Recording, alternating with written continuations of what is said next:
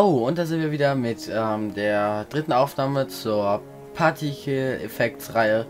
Ja, und wie man sich denken kann, auch meine dritte Aufnahme war im Arsch. Das heißt, wir coden den Teil auch nochmal. Aber ich habe das Ganze noch im Kopf. Also coden wir es einfach mal fix runter. Ist es nicht viel Arbeit. Ähm, aber wir wollen heute einen viereckigen Parti äh, Partikelbereich machen, also eine Cache. Ähm, das Ganze ist eine Kleinigkeit, aber wir wollen ja schließlich alles äh, nichts unversucht lassen und auch ähm, wir wollen schließlich jedes mögliche etwas mal coden, damit ähm, ihr auch vielleicht so ein bisschen Übung drin bekommt, wie man mit Vorschleifen etc. arbeitet. Denn dieser Bereich ist verdammt schön mit Vorschleifen ausgebaut, weil es in diesem Fall eine Berechnung ist und die äh, nehme ich mit Vorschleifen vor. Und ähm, da basteln wir uns jetzt unseren kleinen viereckigen Körper. naja, ähm, ich werde da gleich einmal zwei ähm, Beispiele machen. Und wir machen das einmal, dass wir nur einmal die, ähm, nur einmal die Streben von dem Partikel, äh, von dem äh, ähm, Cube haben und dann einmal nochmal den Cube mit ausgefüllten Seiten. Aber wir fangen jetzt an mit dem ausgefüllten Cube, weil der ein bisschen einfacher aus meiner Sicht ist. Danach machen wir mit dem nicht ausgefüllten Cube. Aber das sind beides Kleinigkeiten. So, fangen wir an mit dem ausgefüllten Cube. Dafür machen wir einfach ähm, Public Static uh, Void Create Full Cage. Ähm, dann Player P, Effekt und Effekt E. Und äh, das reicht dann schon so. Und ähm, dann haben wir jetzt hier einmal, äh, tragen wir jetzt hier einfach ein ähm, Double Start X gleich p.getLocation und getX und dann minus 3. Warum minus 3? Wir möchten einen 5er Käfig machen und dafür machen wir es mit minus 3. So, das Ganze machen wir jetzt einmal hier nochmal, kopieren wir nochmal hier rüber, machen es mit XYZ. Hier hinten am Ende ändern wir es auch in XYZ. Jetzt haben wir halt drei ähm, Doubles. Die ganzen sind für uns echt wichtig für die Berechnung. So, jetzt fangen wir mit dem ersten Bereich an. Als erstes möchten wir uns die Grundplatte machen. Dafür machen wir uns eine kleine Vor äh, Vorschleife. For Double X gleich 0. Die setzen wir, also die Variable wird als 0 gesetzt. Dann kommt sozusagen indirekt eine if-Abfrage, in diesem Fall also x kleiner gleich 5. Und danach x gleich x plus 0,5. Das heißt, wir setzen x 0,5 weiter. So, und damit haben wir schon mal die erste Vorschleife. Der Punkt ist aber, wir haben hier x und y-Koordinate, äh, x und z-Koordinate, weil wir möchten ja in beide Richtungen haben. Wir möchten ja eine Grundplatte haben. Deswegen machen wir darin wieder eine ähm, äh, vor z-Schleife, also Double z gleich 0, z kleiner gleich 5, z gleich z plus 0,5. So, und damit haben wir unsere z-Schleife gemacht.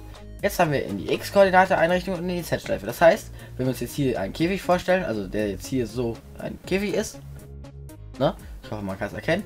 Dann ist das hier zum Beispiel unsere x-Koordinate, das ist unsere z-Koordinate. Dann geht er immer, wenn er ein x weitergeht, geht er einmal eine z-Reihe und so weiter und so fort. Das macht der Ganze aber so schnell, dass wir es gar nicht mitbekommen werden und es aussieht, als wäre nur eine Grundplatte da.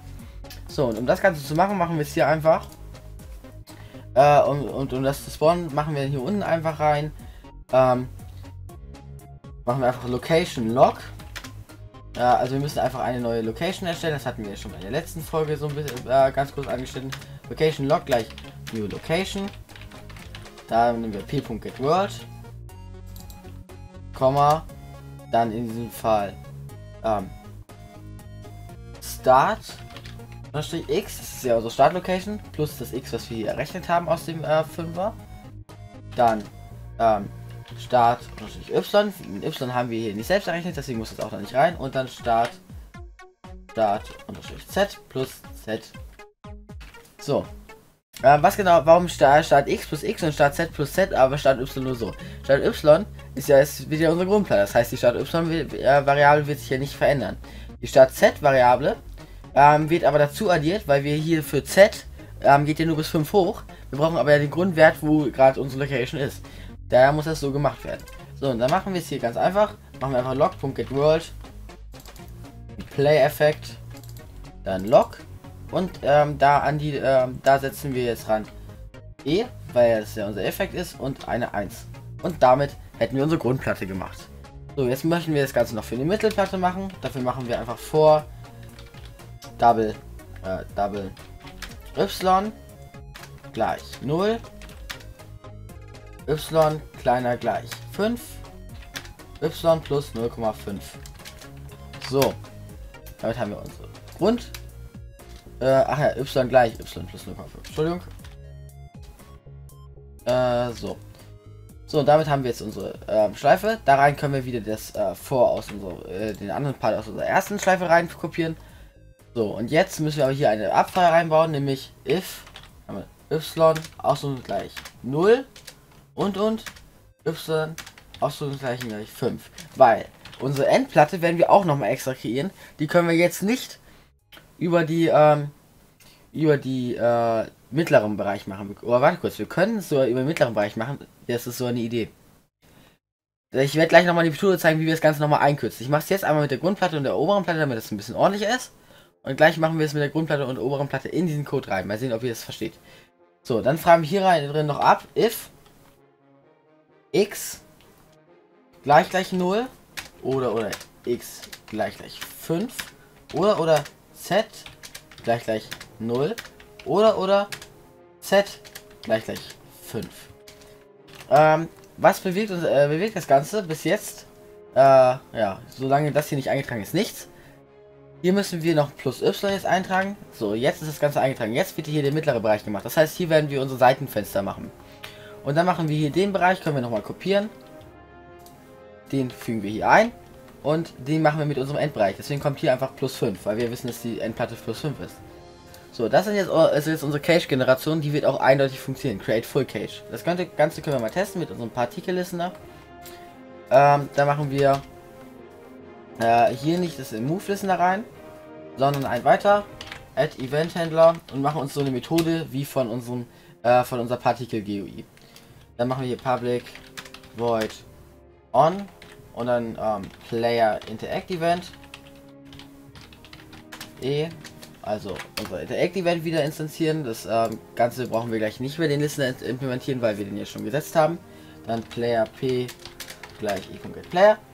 Ja, und ähm, ich werde gleich die Methode nochmal einkürzen, dann haben wir es noch kürzer und noch kompakter, als ich es da jetzt geschrieben habe. Ähm, dafür ist es aber jetzt hier einmal aufgeteilt in die drei Bereiche, die wir äh, machen. Beim anderen wird es alles in einer Vor- und Vorschleife drin sein. Ist ähm, äh, dafür kompakter, aber für mich äh, zu Anfang, glaube ich, längst nicht so äh, einfach zu verstehen, wie ich äh, wie ich es hier gleich verstehen würde. Aber es geht ja darum, dass der Code möglichst kompakt ist. Umso kompakter der Code, umso kleiner eure Jar, die ihr am Ende habt, umso besser für eure ähm, Arbeit. Also, ne, das dazu. Hier fragen wir wieder ab if e.getAction gleich gleich. Action.rightclick r oder oder? e.getAction gleich gleich. Action.rightclick block. Damit fragen wir wieder ab, ob ähm, das ein Block oder äh, r ist. Hier fragen wir einfach ab if p.getItem in hand. Und get type. Gleich gleich. Material. Und dann machen wir fragen wir ab stick also wenn es ein stick ist wenn es ein stick ist dann ähm, soll er den ganzen äh, dann soll er einmal diese methode ausführen. Das machen wir dann einfach in partikel utils und create full cache den player. Und hier machen wir effekt. Punkt. Was für ein effekt nehmen wir jetzt mal? Wir nehmen Happy Villager, wie wir es auch schon bei unserem anderen genommen haben. Also die grünen Partikel. So, und damit sollte das Ganze jetzt schon funktionieren. Und wir sollten gleich mit einem, einem Klicken auf Stick eine schöne Cache bekommen. So, das Ganze machen wir jetzt einmal. Hier ist unser Server sogar noch am Laufen gerade. Ich ziehe mal eben das Plugin rein. Äh, so. Ähm, mal kurz gucken. Ich muss jetzt einmal eben hier auf anderen also ich habe mehrere Monitore, dementsprechend äh, seht ihr gerade nicht, was ich tue. So, da ist es jetzt. Hier ziehen wir einmal in die Plugins-Ordners rein, kopieren und ersetzen. Klicken einmal auf, geben einmal Reload ein und gehen wir einmal auf den Server. So. Und schon sind wir auf dem Server drauf und hier ist unser Stick. Ich gehe mal in Game Mode 1. Und wir drücken einmal auf den Stick und ihr seht einen wunderschönen Käfig aus Partikeln. So, aber wem ist äh, wem das jetzt halt denn zu voll ist, ne? Diese gefüllten Wände und den nicht haben möchte, das werden wir gleich nochmal mit dem Half, äh, Half Cage machen. Ich werde jetzt einmal eben kurz diesen Cage einmal ein bisschen fixer machen, also ein bisschen ähm, komprimieren. Das Ganze werde ich jetzt einmal hier darstellen. Ähm, relativ einfach. Hier fragen wir ab, äh, wenn ähm, y 0 oder 5 ist. Und dann können wir sonst machen else. Und dann kann, äh, können wir einfach ähm, in diesem Fall das so machen, dass wir hier ähm, plus y und das einfach pasten. Das Ganze ist jetzt verdammt kompakt dafür. Im Vergleich zu vorher. Weil, ne, es ist jetzt halt einfach, wir haben mit zwei unsere Methoden uns gespart. Theoretisch sollte das jetzt funktionieren. Ich teste es trotzdem nochmal. Ähm, ich will ja jetzt nicht hier ähm, am Ende sagen, oh, äh, also nicht am Ende da sein, dass dann so gesagt wird, oh ja, geht doch nicht so mit deiner Methode. Aber ich bin mir sicher, dass es genauso funktioniert. Ähm, oh, Reload. Man sieht, es funktioniert genauso. Es ist genau das gleiche. Nur, dass es jetzt kompakter ist. Aber, ähm, das muss jeder selbst entscheiden. Aber das ist dann halt so eine nice kleine Cage, wenn, wenn man es haben möchte. Ja gut. ähm, ja, und jetzt möchten wir das Ganze auch nochmal als, ähm, als Half Cage machen. Das heißt, wir kopieren jetzt nochmal den Code hier. Er ist jetzt komprimiert. Ihr seht jetzt hier 20 Zeilen Code für sowas. Da machen wir einmal Half Cage. Und ähm, dann machen wir das Ganze so, dass wir hier ähm, einfach immer abfragen. If und und äh, nee, if oder oder und dann müssen müssen wir hier rein nochmal if Bereich machen und da setzen kopieren wir das raus. Ähm, somit haben wir die Variablen gleichgesetzt. Äh, das Ganze können wir so jetzt in eine Zeile machen theoretisch, aber ich bin gerade zu faul dafür. Ähm,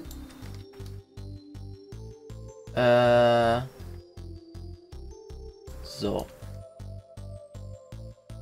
Ähm, kurz überlegen. Theoretisch sollte das jetzt schon funktionieren, wie ich das jetzt gemacht habe. Ich erkläre es gleich nochmal, aber ähm, ja, war kurz, wir müssen das einmal eben hier in der Partikel Utils, äh, Partikel dann erkläre ich es gleich doch jetzt nochmal eben. Ähm, if und dann Blaze Rod. Blaze Rod und dann machen wir hier ein Half draus. Ich hoffe, dass das jetzt klappt, aber ähm, ja. Äh, was genau habe ich jetzt verändert? Ich frage jetzt einfach nacheinander e, ähm, x und y, ähm, if, äh, x und z ab und dadurch äh, müsste es ähm, x 0 oder 5 sein und z 0 oder 5. Das Ganze wird uns dann gleich solche schönen Kanten ergeben. Äh, was genau meldet Ach, da.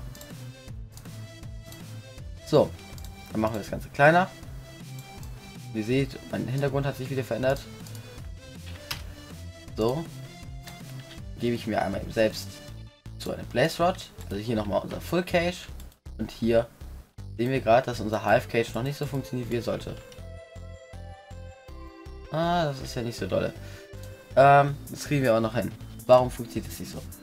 Äh, wir haben jetzt hier if äh, y nicht gleich 0 oder nicht gleich 5. Und hier fragen wir ab plus y Warum meldet er einen Fehler? Ähm, jetzt wird's lustig. Äh, wir packen Y die ganze Zeit was dazu. Und, ähm, bei unserem anderen geht das ja. Wir sehen ja hier ist ja die Full Cage da. Warum nimmt er hier nur die Kanten, wie ihr seht, ne? Ähm, das heißt, nur da, wo X und Y ist. Ah, ich.